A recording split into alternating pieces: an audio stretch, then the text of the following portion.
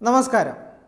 കേന്ദ്രമന്ത്രിമാരെ പരിഹസിച്ച് പൊതുമരാമത്ത് മന്ത്രി പി എ മുഹമ്മദ് റിയാസ് രംഗത്തെത്തിയിരുന്നു. കേന്ദ്രമന്ത്രിമാർ ദേശീയപാതയിലെ കുഴികൾ എണ്ണാനും അത് അടയ്ക്കാനും തയ്യാറാകണം എന്നതായിരുന്നു നിയമസഭയിൽ പൊതുമരാമത്ത് മന്ത്രിയുടെ പ്രതികരണം. ഇതിന് പിന്നാലെ സംസ്ഥാനത്തെ റോഡുകളുടെ അവസ്ഥ എന്തെന്ന് മനസ്സിലാക്കാൻ ഞങ്ങൾ തീരുമാനിച്ചു. തിരുവനന്തപുരം സെക്രട്ടേറിയറ്റിന് സമീപമുള്ള റോഡിന്റെ അവസ്ഥയാണിത്. പൈപ്പ് ലൈൻ പദ്ധതി വന്നതോടെ യാത്രക്കാരും വ്യാപാരികളും ദുരവസ്ഥയിലാണ്. ഇതിപ്പോൾ ഈ റോഡ് പൈപ്പ് ലൈൻ ഇട്ടുണ്ട് പറഞ്ഞാണ് ഇവിടെ പണി എന്താ നിർത്തി വെച്ചത്. പക്ഷേ കുണ്ടും കുഴി തന്നെ അവർ വന്ന് സി ദിവസം മുഖ്യ ദിവസം വന്ന് രാത്രി വന്ന് പണി ചെയ്യുന്നുണ്ട് രാവിലെ ആകുമ്പോൾ വീണ്ടും കുണ്ടും കുഴിയും തന്നെ ആവുന്നു. സ്ഥിരം പരിപാടി അവർ ഡെയിലി വന്ന് ചെയ്യുന്നുണ്ട് ഇവിടെ പണി. പക്ഷേ അത് പക്ഷേ വീണ്ടും താണ്ട ഇന്ന് മിനിഞ്ഞാന്ന് വന്ന് എന്താ കിട്ടുന്നത് വീണ്ടും ആ കുണ്ടും കുഴിയും തന്നെ. അല്ലാതെ ഇല്ലാത്ത എല്ലാ എം എൽ എമാർ വരെ പോകുന്ന വഴിയാണ് ഇത്. എല്ലാ എല്ലാവരും പോകുന്ന സ്ഥലങ്ങൾ തന്നെ എല്ലാവരും കാണുന്നുണ്ട്. പക്ഷേ ഇത് മറ്റുള്ളവരാരും ഇത് ഗവനിക്കുന്നില്ല.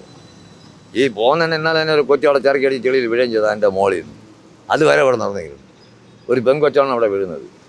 അതിന് നമ്മളെല്ലാം കൂടെ പിടിച്ച് എടുത്തിരുത്തിയാണ് കാലം മടങ്ങിപ്പോയി പിന്നെ അടുത്ത് ഒരു ഓട്ടോയിൽ കയറ്റിയാണ് നമ്മൾ ആ കൊച്ചിനെ വീട്ടിൽ വിട്ടത്. ഇവിടെ അവർ മുഖ്യ ദിവസം ഇവിടെ വന്ന് ഈ പണിയൊക്കെ ചെയ്യുന്നുണ്ട് നോക്കുന്നുണ്ട് പോയി വരും.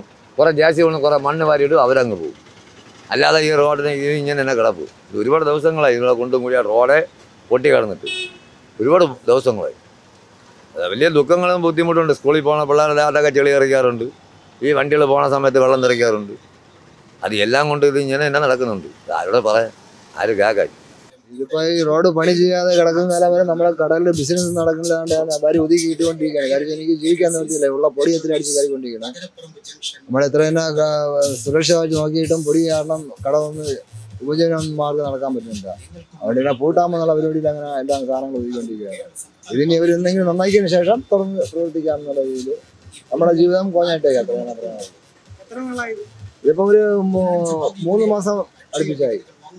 ഈ മൂന്ന് മാസം കൊണ്ട് നമ്മൾ നമ്മളെ മണ്ടേ തുറന്നു നോക്കി കഴിഞ്ഞാൽ എന്തുമാത്രം പൊടിയുണ്ടെന്നും എന്തെല്ലാം പ്രശ്നമുണ്ടെന്നുള്ളത് ഇത് അറിയാൻ പറ്റും. അങ്ങനത്തെ ഒരു കണ്ടീഷനിൽ ഇപ്പോൾ കിടക്കുകയാണ് മഴ പെയ്യുമ്പോൾ ഒരു ചെറിയ ആശ്വാസമുണ്ട്. അത് കഴിഞ്ഞാൽ ഉള്ള പൊടി അത്രയും കാറ്റടിക്കുമ്പോൾ അത്രയും ഞാൻ അടിച്ച് കയറുകയാണ് അത് സർക്കാരിന്റെ അടുത്ത് അറിയിച്ചിട്ടും അതിന്റെ പണി ചെയ്യുന്ന ഉദ്യോഗസ്ഥരെ അറിയിച്ചിട്ട് അവർ ഒരു നികൃഷ്ടമായ രീതിയിൽ അവർ അവരുടെ തോന്നിയ അവസരം പോലെ അങ്ങനെ പോവുകയാണ്. അല്ലെങ്കിൽ അവർ ഒരു മറുപടിയും പറയണില്ല ചെയ്യുമെന്നും പറയണില്ല ഒന്നും പറയണില്ല അവരങ്ങനെ വരും കുഴിക്കും മൂടും കുഴിക്കും മൂടും അങ്ങനെ അങ്ങ് പോവുകയാണ്. പിന്നെ അത്രയ്ക്കും ബുദ്ധിമുട്ടൊന്നും നമ്മളെ പിള്ള പാവപ്പെടുക ഇവിടെ ഒരുപാട് വണ്ടികൾ മറിഞ്ഞ് വിടുന്ന സമയത്ത് നമുക്ക് നമ്മൾ ആളിനെ കാണാനില്ല. വണ്ടി മാത്രമേ വെളിയിൽ കാണുന്നത് പിന്നെ നമ്മൾ ചെന്ന് നോക്കുമ്പോൾ ആൾ അതിനകത്താണ് കിടക്കുന്നത്. കുഴിക്കകത്തെ. പിന്നെ ഞങ്ങൾ അവരെ വിളി വലിച്ച് ഏൽപ്പിച്ച് വണ്ടിയൊക്കെ എടുത്ത് നൂത്ത് ഇവിടെ കൊണ്ട് വെച്ചിട്ടാണ് നമ്മൾ പറഞ്ഞത്. എത്രയോ വണ്ടികൾ അങ്ങനെ വിടുന്നിട്ടുണ്ട് മൂന്ന് നാല് വണ്ടി അങ്ങനെ ഇതിനകത്ത് വിടുന്നിട്ടുണ്ട് വണ്ടി വെളിയിൽ ആൾ അതിനകത്താണ് ഇരിക്കുന്നത് നമ്മൾ നമ്മൾ അതിനകത്ത് കുഴിയിൽ നിന്നാണ് അവരെ വെളിയിൽ ഇറക്കി രക്ഷപ്പെടുത്തി വിടുമ്പോൾ അവർ നമ്മളടുത്താണ് പറയുന്നത്. നിങ്ങളിവിടെ ലൈറ്റ് ഇല്ലാത്തതെന്ന് ഈ റോഡ് ഭാഗം മോശമാണ്. പൈപ്പ് ഇടാനും ബട്ടി മുറിച്ച് അതൊന്നും അടച്ച് വയ്ക്കുന്നില്ല അതങ്ങനെ കിടക്കുന്നുണ്ട്. പൂഴിയും മണലുമായിട്ട് കിടക്കുന്നുണ്ട്. പൊടിയടിച്ച് ഇരിക്കാൻ പറ്റാത്ത കണ്ടീഷനാണ്. ഇതിപ്പോ അത് അതിപ്പോ യാത്രാ യോഗ്യത ഇല്ലാതെ എല്ലാം എല്ലാം കൂടെ കുത്തി കളിച്ചിട്ടിരിക്കുകയല്ലേ? അത് ഇപ്പം നമ്മുടെ സർക്കാരിന്റെ അതിന്റെ തീരുമാനങ്ങൾ അല്ലെങ്കിൽ അതിന്റെ സംയോജിതമായിട്ട് നടപ്പാക്കാത്ത സംഭവങ്ങൾ നടപ്പാക്കാത്ത കാര്യങ്ങൾ പരാതി ഇപ്പോഴും നമ്മൾ ഇവിടെയുള്ളവരാരും പരാതിപ്പെട്ടതായിട്ട് എന്റെ എന്റെ കാഴ്ചപ്പാടിൽ അത് കാണുന്നില്ല. എനിക്കത് അറിവില്ല. നമ്മളാരും പരാതിപ്പെട്ടിട്ടില്ല. ആരോട് ആരോട് പരാതിപ്പെടേ നിങ്ങളോടോ അതോ നാട്ടുകാരോടോ ആരോടാ പരാതി പറയണ്ടത്? ആരോടാ പരാതി വരേണ്ടത് ഇനി പരാതിപ്പെട്ടിട്ടുള്ള എന്തെങ്കിലും കാര്യം ഇവിടെ നടത്തിയിട്ടുണ്ടോ? ആ പരാതി അത് ആ പരാതിക്ക് അനുകൂലമായി നിർവഹിച്ചിട്ടുണ്ടോ? ഇല്ല. പിന്നെ എന്ത് പരാതി? ഇവിടെ ഇവിടെ സ്ഥിരതയുള്ളൊരു ഉള്ള ഒരു സർക്കാരുണ്ടോ? സ്ഥിരത ഉണ്ടെന്നൊക്കെ അവർ പറയുന്നു. എന്ത് സ്ഥിരത? എവിടെ സ്ഥിരത? എന്ത് നടപ്പാക്കുന്നു? എന്ത് ചെയ്യുന്നു? ജനങ്ങൾക്ക് വേണ്ടി എന്ത് ചെയ്യുന്നു?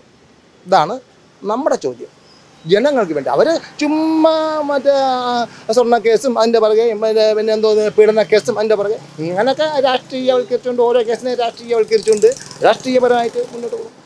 ആയിക്കോട്ടെ. അതിൽ ജനം നമ്മളെന്ത് പറയും? നമുക്കൊന്നും പറയാനില്ല. നടത്തട്ടെ. നോക്കാം. കാത്തിരുന്ന് കാണാം. എത്ര എത്ര ആക്സിഡന്റ് ഉണ്ടായെന്നറിയാം. അതുപോലെ ഈ പനവള പണം ഡെയിലി ആക്സിഡന്റ് ഉണ്ടായിരിക്കുന്നു ആ പൈപ്പ് ലൈൻ എടുത്തത്. ഇവിടെയും പൈപ്പ് ലൈൻ എന്തൊക്കെ എടുത്തത്. എന്ത് പറഞ്ഞില്ല ആടുത്ത് പറയാം. വീട് കഴിച്ച് അവന്റെ മുറിവ് കൊണ്ട് അവൻ പോകുന്നു. തക്ക നടപടി അവൻ പോകുന്നുണ്ട്. അല്ല വേറെ ഇവിടെ എത്ര ആക്സിഡന്റ് ഉണ്ടായി? ആരും ഒന്നും പരാതിയില്ല ഒന്നും. എം എൽ എമാരും മന്ത്രിമാരും സഞ്ചരിക്കുന്ന റോഡിന്റെ അവസ്ഥയാണിത്. പിന്നെ റോഡിന്റെ ദുരവസ്ഥയെക്കുറിച്ച് ആരോട് പരാതി പറയാനെന്നാണ് നാട്ടുകാർ പറയുന്നത്. ന്യൂസ് ഡെസ്ക് കത്തുമൈ ന്യൂസ്.